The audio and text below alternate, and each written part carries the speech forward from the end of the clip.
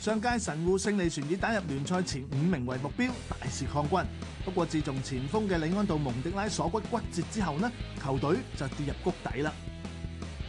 首循環面對三支嘅升班馬，即係錄得一和兩負嘅成績。及後再受到唔少主力球員受傷患嘅影響，結果呢只能夠以第十名結束球季，未能夠達標，所以令到監督嘅松田浩呢亦都被開除啦。今屆有重心人物大久保家人咧轉會德甲嘅和夫斯堡，同李安道蒙迪拉轉頭大阪飛腳，令到神戶勝利船必須進行大補充。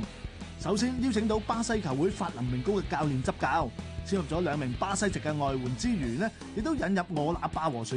同喺薩爾斯堡回流嘅宫本行政，務求喺前中後三方面都有足夠嘅人腳，喺今季嘅賽事裏邊爭逐各項錦標。